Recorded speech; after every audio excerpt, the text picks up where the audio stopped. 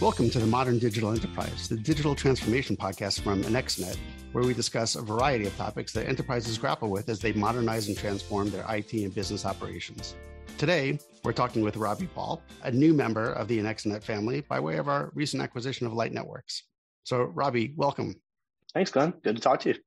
Yeah. Yeah. Before we get into today's topic, which is one that everyone will have a little bit of personal experience with on the customer side at the very least, could you tell us a little bit about yourself? Sure. Absolutely. Uh, grew up in South Florida and uh, I've been married for almost 28 years. Have two older children who are collegiate, and my wife and I are recently experiencing empty nesthood. So we're yeah. traveling a bunch and having fun. Oh, very nice. That's awesome my daughter is a, a, senior in high school and she's going through all the college app stuff. So we're going to be right behind you. Yeah, it's a uh, it can be a stressful time uh, when your when your kids leave the house. okay, uh, so speaking of stressful time, there there's the time when you actually need some help from whatever vendor that you're dealing with, whether it's uh, an airline, a hotel, or just a piece of software that's not working the way that you want, and you got to try and get in touch and get a little bit of help. So today we're going to talk a little bit about call centers, uh, which, you know, again, from the customer side can be kind of stressful and sometimes a little bit annoying. So I, I, will try and keep this, you know, more on the rails and not make it like my personal little uh, rants, but we'll, we'll see how that goes. So Robby, you've been working with enterprises to try and optimize or even radically reinvent their call center operations for years. But before you help us understand like where the opportunities for improvement lie, I, I just want to see if you know, my own personal experiences are representative of a lot of the problems that you commonly find. Stop me if you've ever heard any of this stuff. Let me know if there's stuff that I've missed. I suspect I've heard a lot of them. yeah. So number one is the maddening and often excruciatingly long IVR prompts list. Like so, it's and then having sure. to remember, wait, no, that's actually not what I wanted. The one that I wanted was should the I, one. Should I, I wait until the end where I need to, you know, listen to the menu again? Yes, yeah. that's a good one. And then on a related note, the fact that I don't know how many times you have to actually scream representative into the phone before it actually realizes that you want to talk to a human. Yeah. Also related to this is once you've figured out what path that you think you want to go down, very very long wait times and of course, as you move across the chain, having to identify yourself with whatever sort of personal information, your little secrets, you know, answers to your question, like, you know, what was your favorite band growing up? Yeah, 700 times, or at least somehow that it feels. And then once you actually get to someone, they have no idea any of the information that you've you know put in before. That's just a couple. Those are all very common and very frustrating. Yeah. I, I, guess the good news is, or or sadly, um, it's it's really easy to address a lot of that. It requires a little bit of effort and planning and forethought, but you know the truth is that if you as a company really care about your client and you know you want them to have you know what we look for is a frictionless experience and you mentioned the word call center and it's kind of shifted to contact center over time because truthfully what we're looking to be able to do is meet our client where they are today so it may be that I don't want to call you, I want to text you, or I want to chat, or I want to utilize some other medium other than that. I want to use WhatsApp or Apple Business Chat or something along those lines. You know, all those things are capable. And, you know, ideally, you really want to set it up so that as I decide that I need to contact you and gain some level of assistance, that it should be easy for me to do so, that you should probably it, whatever information you have. So I, I think that the world that we live in today, we collect tons of data. You know, da- data is not our problem. Our problem is synthesizing the data and doing something with it useful. Suggesting that, for example, if Glenn is calling me, perhaps I should take some of the information I have about him and apply it to predict why might Glenn be calling me? And you know perhaps offer him something that's useful instead of instead of making me listen to a bunch of menu prompts and decide which one is it you know maybe i'm calling you because glenn has a flight for today and uh, you know are you calling about your flight today yes as a matter of fact i am and i think certain industries are a little better than others at this uh, you know i think the airlines have in certain cases at least the ones that i'm i've flown more recently they're a little more proactive in approaching that. The secondary one you mentioned, a long wait time. I mean, goodness, uh, you know, we've been in COVID for what almost two years now.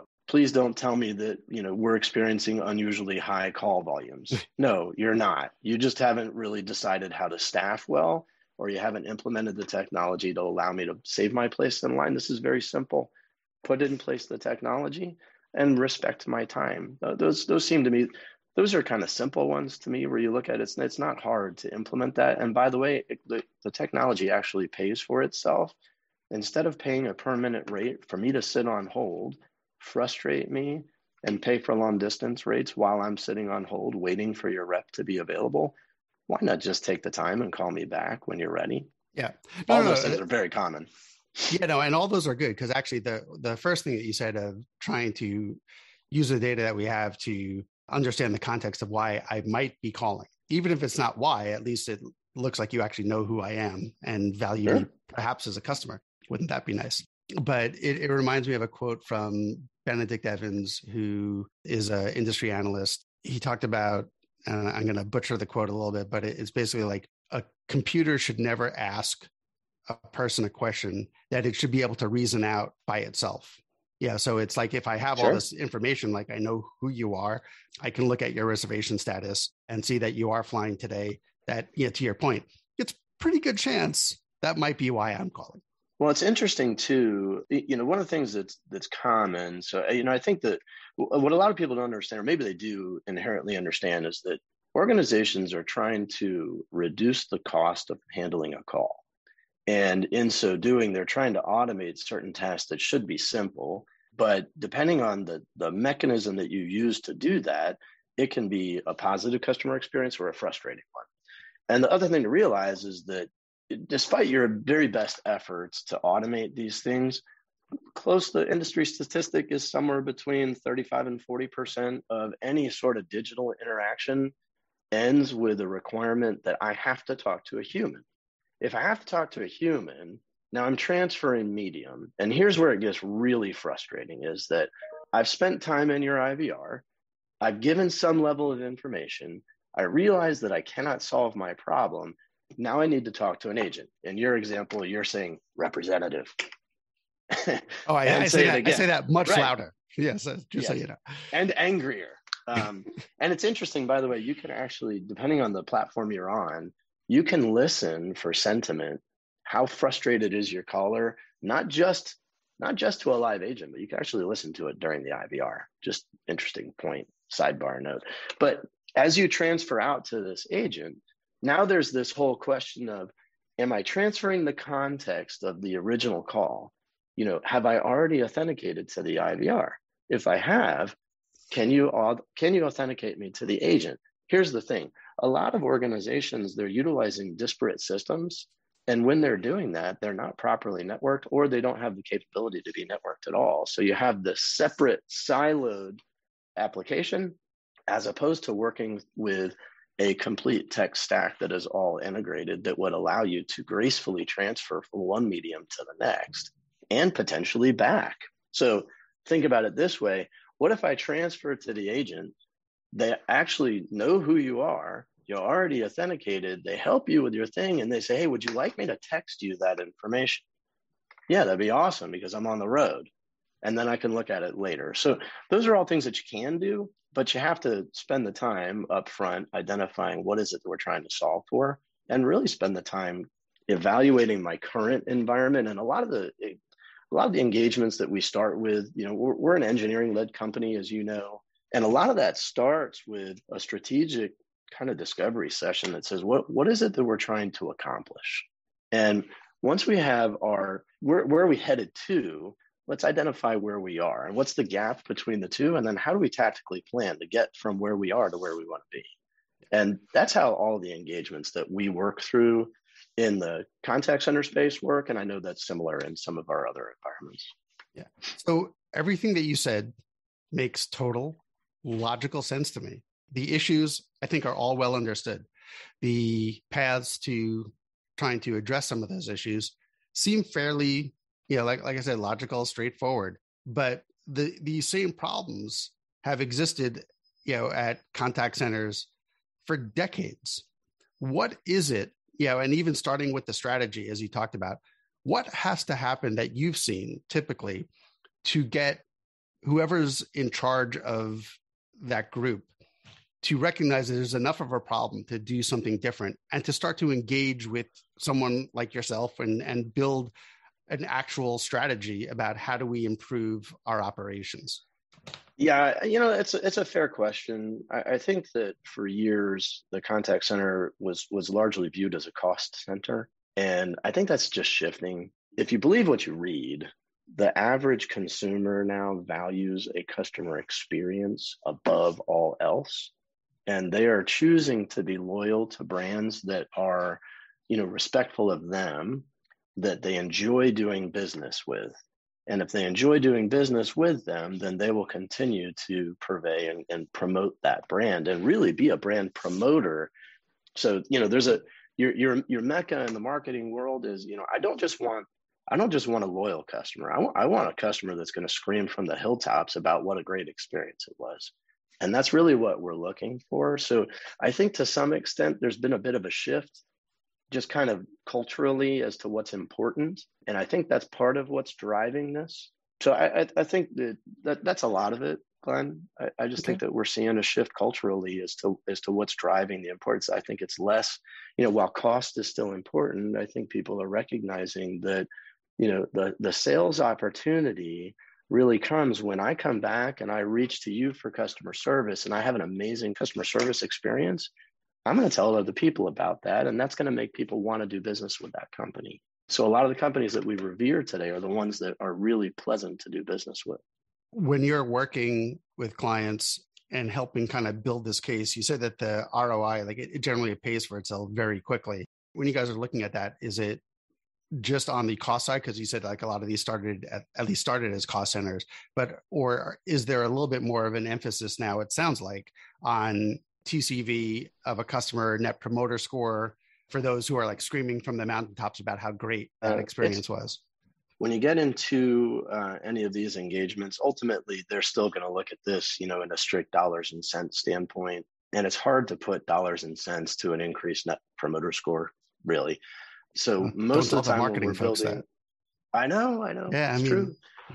But you know, uh, at least when I'm talking with a CFO, it tends to be focused in and around things like uh, efficiency modeling. So a lot of folks are still operating on an older premise model system that is handling something that's been handling their inbound customer service calls for 20 years, to your point. Haven't really made any grandiose change. And a lot of people you know have taken the time to say hey listen we're gonna we're gonna upgrade and modernize our our application stack. And then the only thing that they did is they basically picked it up and moved it from one platform to another and they didn't change anything. And what we're trying to encourage our customers to do is to really think about it ideate and innovate in their customer service experience or sales experience because this is not all strictly inbound it's outbound as well. But right. ultimately as you're interfacing with your client or prospect how can we do a better job, make it frictionless? What can we do differently? As you're doing that, what we're finding is that people have not done a very good job of increasing the efficiency of the agent. So that could engage anything from tying your call processing system to your system of record, whether that be uh, Salesforce.com or a Dynamics or Zendesk or any, any one of those, you know, enterprise applications, ServiceNow as an example. Any of those tying those together, you can start to drive efficiency at the agent level and pull, you know, and it sounds silly, but you start to measure this in seconds. Well, if you're a larger organization handling millions and millions and millions of calls, that really starts to add up and it really offsets the overall investment in the technology of what you're utilizing to do that. And these are just basic things. We haven't really gotten into anything fancy yet where, you know, what about the ability to really do some coaching for your agents? So we can evaluate. We, we typically would recommend. So historically, people would record all their calls and they would randomly choose five to 10% to evaluate from a QA standpoint. Sure. How do you know you got the right five to 10%? I mean, you just did a random sample. Wouldn't it be better if I said, hey, I want to review all the calls that referenced a particular product or you know that the client said something you know x y or z or i want to sample calls where I, I want to see any calls where we didn't read a particular disclosure. All of those things you can do because we can record all of the calls now and you can do scientific sampling. And I don't mean scientific like meaning randomized. I mean scientific like saying, I want to be explicit and prescriptive about what is it that I want to that I want to look at and then identify did the rep do a good job or not? Was the uh, you know was the customer frustrated? Were they happy? And you can identify based on the words they use, the tone, the volume, like you said, if I yelled representative, I'm upset. If I speak quickly, I'm upset. If I have a regular tone and pace, maybe I'm not. And you start to evaluate and say, hey, these are the calls that I want to investigate, and these are the ones that we're going to utilize to actually coach our agents, things like that. There's a lot that we can do that will really help in uh, kind of improving the overall customer experience. That's one. Uh, one of the other things is that uh, workforce management is uh, a lot of people are managing their contact center staff on a spreadsheet for right or wrong, there's there is a way to do it, but it's not terribly effective at modeling. So what we do is we utilize applications that allow us to take historical trending volumes for that organization and then predict out forecasting models that say hey based on this, the traditional cyclicality of your business you know we believe that hey if you're in retail and some of these are obvious right? So i know that the traditional retailer e-tailers are going to be crushed in the latter half of the year right? And then they're going to be super light in you know q2 q3 most businesses have some level of cyclicality and that starts to reveal itself as you start to feed that historical data in. And you can get more accurate with your staffing models to make sure that you don't have who guessed it excessively long hold times. So all stuff that we focus in on. Right. Now that last example seems pretty obvious. You know, like you said, like if you're a retailer, yeah, the Christmas season is clearly going to be, you know, the the time you're going to you're going to get your most calls. Just like I would think that for most businesses, my call volume during the day is going to be a lot higher than it is at three o'clock in the morning. So a lot of these staffing things that that you refer to seem pretty dead obvious. Like why why are the you know I, I, whether yeah. or not you're you're using an Excel spreadsheet or an abacus, it seems like some of those shouldn't be such a surprise to people. Yeah, I don't know that it's a surprise so much as uh, the applications have come a long way over the last several years. Uh, they're very advanced, and they've also come down from a accessibility standpoint. Historically they were something that made sense for someone with maybe a three to 500 agent population and above. And the cost of those have come down considerably making them accessible to you know smaller contact centers that you know may not have been able to afford them previously so the, that's that's probably the the simplest of that. I, I don't think that it's a surprise to anybody that if you had a system that was uh, you know capable of doing forecast modeling it would be better than guessing. Having it in there and then making sure that all that call volume is integrated into your call processing system all those things are are important. Also what you were talking about in terms of providing the coaching and such and, and the 20 year old systems that people have been working on that are you know then historically on premise as opposed to in the cloud.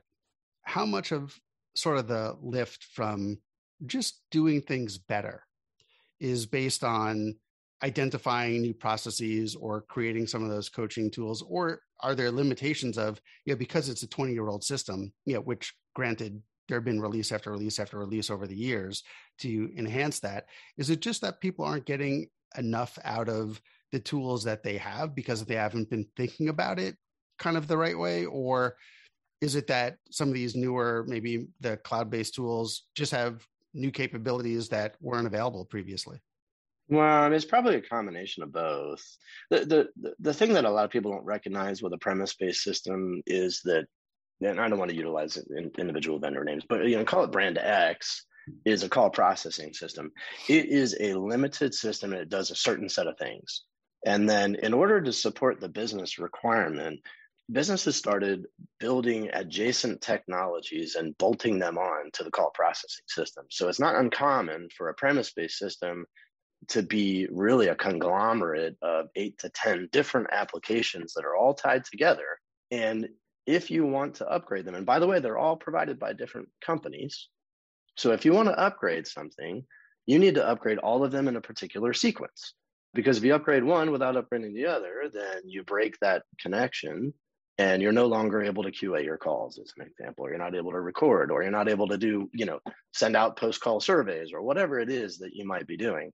So the process of upgrading a premise based application becomes very complex and very expensive. So to some extent, I believe there's a there's there's an undercurrent that is uh, really it's lagging technology because it's so difficult and painful and expensive to upgrade.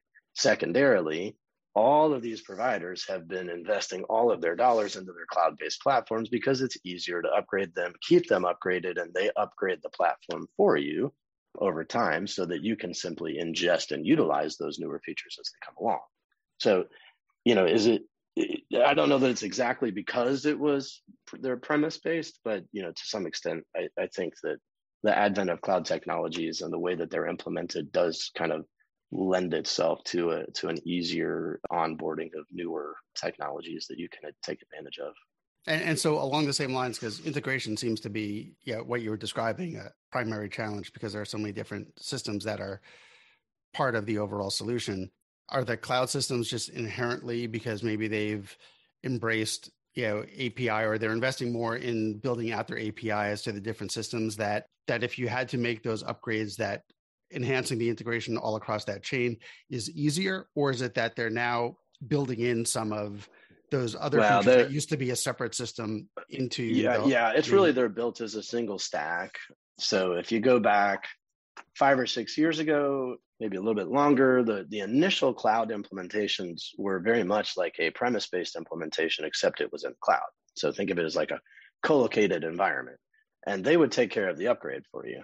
What has happened over the last six, seven years is those applications have been rewritten in a microservices architecture approach, meaning I now have all of these things that are pre pre integrated and they can be upgraded in sequence at the time that they want without impacting you know other things that are happening within the application stack.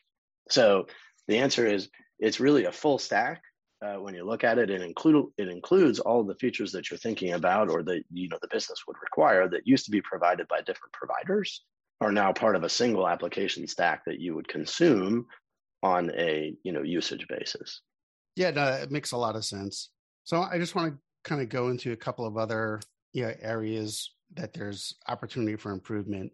And one that you talked about a little bit before was, you know, omni-channel and sort of meeting the customer, you know, where they are, whether it's over iMessage or WhatsApp or you know some some other channel.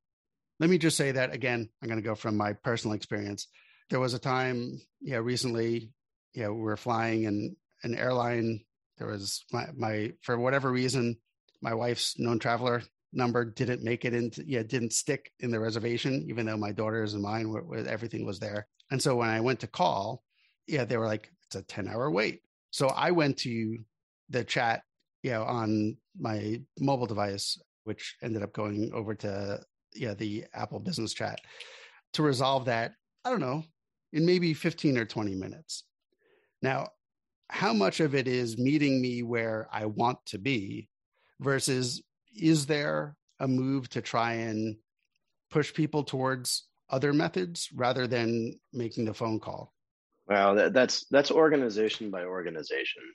I'll say this: the uh, you know, so as an example, a chat agent can typically handle uh, a good one on average. Let's say four chat streams at a time, and a call is very much one to one.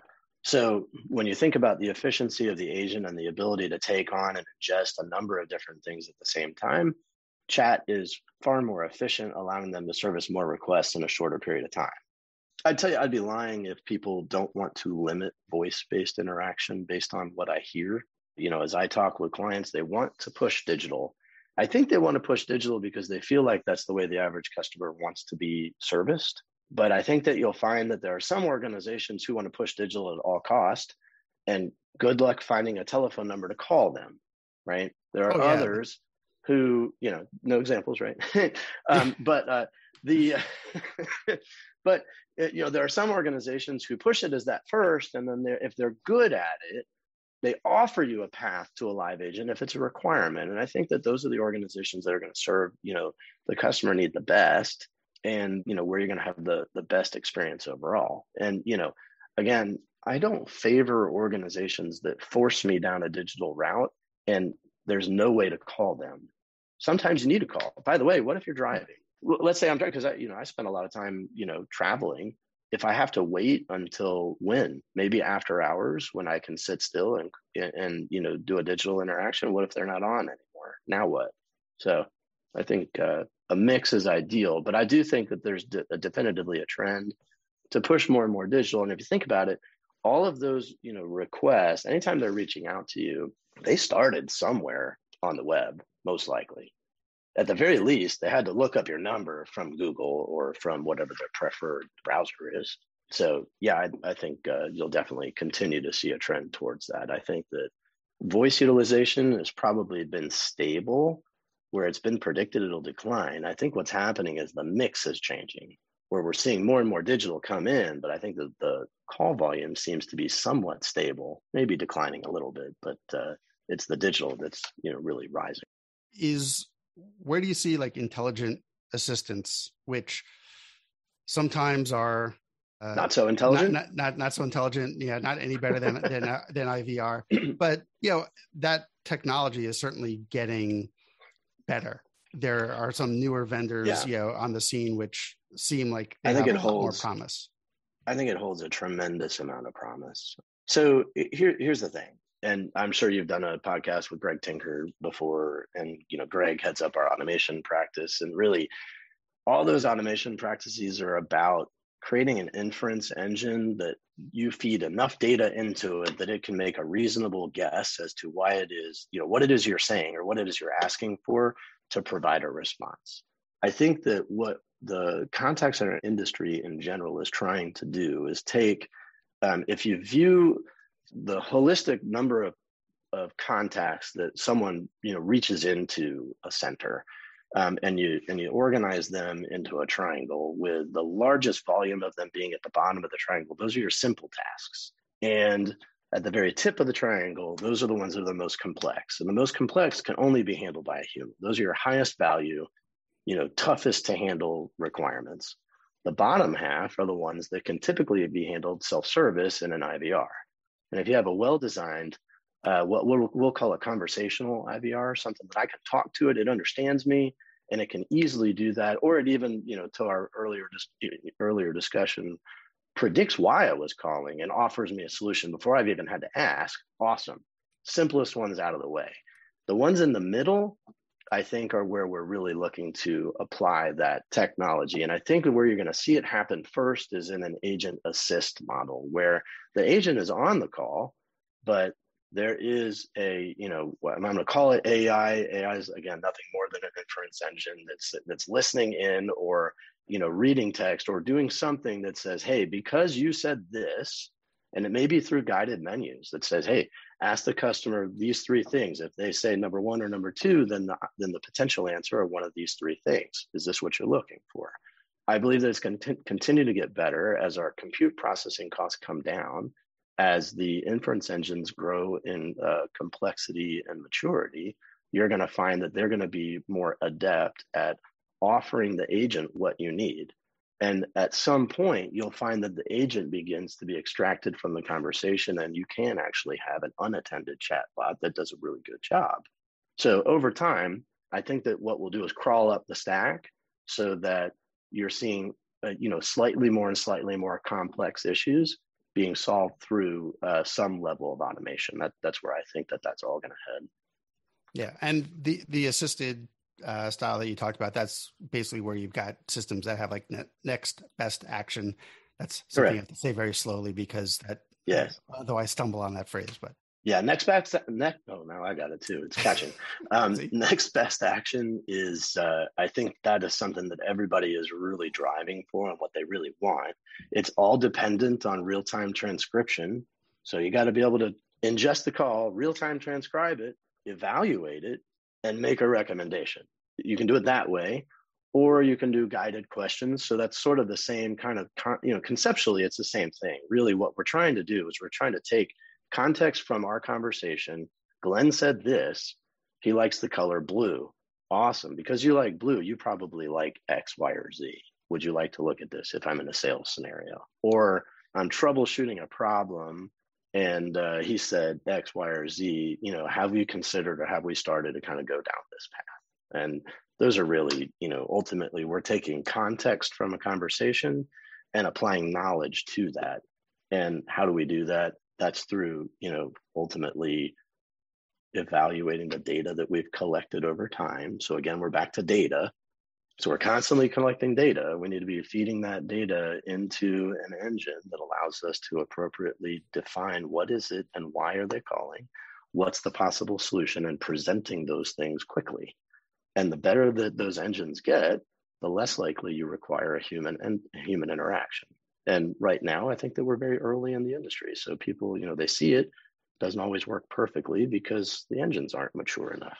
And you know, and by the way, another quote that I that I uh, think about uh, when you said it all comes down to data is uh, when I took a Six Sigma class. The guy said, "You know, in God we trust. All others must bring data." Um, so Love it. stuck stuck with me, and it's been about 15 years, so it's uh, you know it's a good one. Well, there's uh, there's the the three the three types of liars or uh, statisticians, lawyers, and politicians. Uh, you know, they're all utilizing data. So what you do with the data is important. I had a customer describe to me big data as the dog chasing the car, and he actually catches the car by the bumper. Now, what does he do? Right. You know, the real thing is okay, I've got all this data. How do, how do I synthesize it into something useful that I can help my customer with and I can drive my business forward and I can create actionable insights out of it? That's the magic. I, I see that we're, we're coming up on time. Yeah, I, I, will say that, yeah, there's obviously a lot more to cover. I'm sure we'll have other sure. conversations. You have given me hope going back to my beginning about my rant, yeah, that uh, that there is a light at the end of the tunnel that is not an oncoming train as it comes to contact centers, and that there's a lot of opportunity for enterprises out there to get a lot better. So, um, anyone listening here who also agrees with me, definitely need to give Robby a call. But I really appreciate your time. I'll give you a chance if you have any kind of last suggestions or guidance to people before we go you know have at it oh just that you know we're we're passionate about improving the overall customer experience and and really that starts with a conversation about what are you doing today and let's talk about what's available and how we can make it better and that's really where that conversation starts so if you're interested in attracting new clients and retaining existing ones and you haven't started to really contemplate what your overall customer experience is you need to start now because this is how the world is going to compete over the next decade. That's awesome. It's a great way to end. Robby, thanks again. It's been a pleasure, and we'll chat soon. Absolutely. Everyone else out there in podcast land, we'll talk to you soon too.